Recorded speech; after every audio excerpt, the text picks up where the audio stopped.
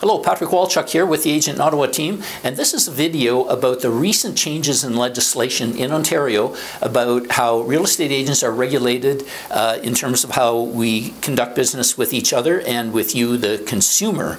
And these changes came into effect on December 1st, 2023. So we'll do two videos here. This one will be for sellers and another one will be for buyers. So getting right into it, uh, for you sellers out there, basically there's a lot of changes. I'm just going to touch on the top three things that will affect you as a seller. So the first thing to know is that when you're going to communicate with a real estate agent, we are now regulated under the province of Ontario under TRESA, Trust in Real Estate Act 2002. That's correct, 2002. And what it does is it replaces legislation called REBBA, the Real Estate and Business Brokers Act of 2002, and that act was amended. So the first thing that you need to know is that you're going to get a 13-page document emailed to you probably or in person uh, from a real estate agent and you need to sign that to acknowledge receipt and that it's been explained to you or you've received it and you want further explanation on that 13-page document and basically it outlines the new rules regarding uh, how real estate agents interact with you and uh, this is basically what it looks like. And again, it'll be a 13 page document for you. Now, that's number one. Number two, in terms of when you receive an offer as a seller, you can now choose to disclose contents of the offers to the other buyers who have submitted offers on your property. So um, let's assume that you got your house listed for sale, you get three offers on, on the property. Previously, you couldn't tell any other buyers about the contents of your offer. And you probably heard the term bidding wars and blind bidding. So all that we could disclose, if I'm representing you as a seller, for example, is that we've got three offers on your property, and that's it. We couldn't say anything more. Now you have the right, if you choose to, to disclose information. So for example, um, you can talk about all the content or some of the content in those other offers. You can talk about the price, the deposit, the conditions, and you can say, um, I've got three offers, and here's all the information about offer number one, here's information about offer number two, etc. Or you can also say, here's the price on one of the offers of $800,000. Another offer, it's got no conditions, we have another offer that's got a first refusal in it that means that that's conditional upon the buyer being able to sell their property. So in that way, what you're doing is that you're disclosing that you've got three offers, but you're picking parts and pieces from all three offers and, and you're uh, providing that information to all the parties uh, that are involved. And, and you share this information with anybody who has submitted an offer on your property. So you can do that now if you want to. Um, what you can't do is you can't disclose any personal information about a buyer. So for example, again, if you have one of those first refusal conditions in an offer, which means that it's conditional upon the buyer being able to sell their property, you can't say, I've got a first refusal condition of, upon the buyer being able, able, to sell his house at 123 Main Street.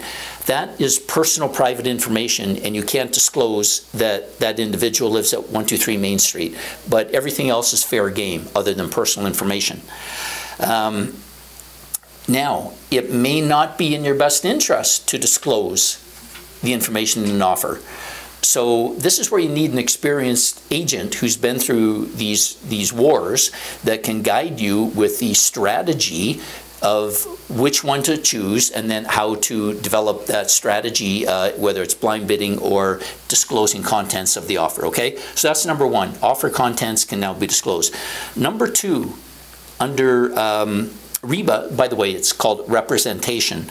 And basically, the representation now is that a buyer for your property is either going to be a buyer who is under contract with an agent, uh, and there'll be uh, an agent designated as their representative, or they're going to be what's called an SRP, a self regulated party. So you as a seller, when you sign up now to work with an agent, so if you hire me, for example, uh, Patrick Walchuk at ABC Real Estate Company, um, I will be your designated representative because before when you signed up with an agent, a lot of people didn't realize it, but you weren't really signing with the agent, you were signing with the brokerage with ABC Real Estate Company. But that's now changed.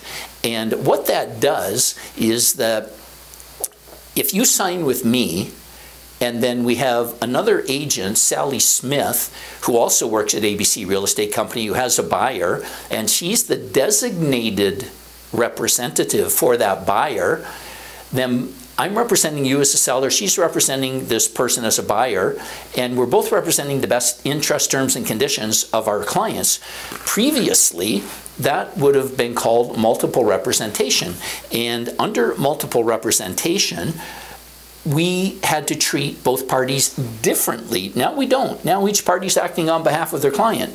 So before, what we had to do under multiple rep is that we had to uh, equally protect the interests of the buyer and the seller.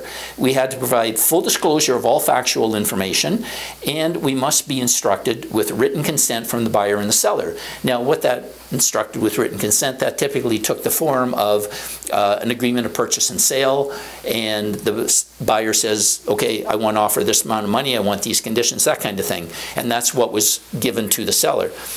So that's kind of out the window now. Not kind of, it is out the window. So that's how you're going to be represented. Now, after having said that, what TRESA Trust and Real Estate Services Act has determined is that this multiple representation thing can still exist, but it will be much, much reduced because instead of representation being at the brokerage level, it's now going to be at the real estate agent level. So let me give you a great example here. I have your house listed, ABC Real Estate Company. I also have a buyer that I signed up under a buyer representation agreement and I'm their designated rep. And my buyer likes your house. So at that point, I have to have both of you sign a document to say, hey, I've got a client that might be interested in submitting an offer, and if they do, this is called multiple representation because me, the singular agent, I have contracts with both of you. And then at that point, you say, yeah, we're cool with that. And by the way, in 33 years in this business, I have never had a buyer or seller say, no, I don't want to do that. Um, they want to uh, accept or review an offer. I shouldn't say accept, but review an offer. And as long as both parties are aware and agree and believe that they are buying and selling the property at fair market value with terms and conditions that meet their needs, they're happy to do so. I've never had a problem. So that's not changing under, under this designated representation thing. Again, representation used to be with the brokerage, now is with the representative.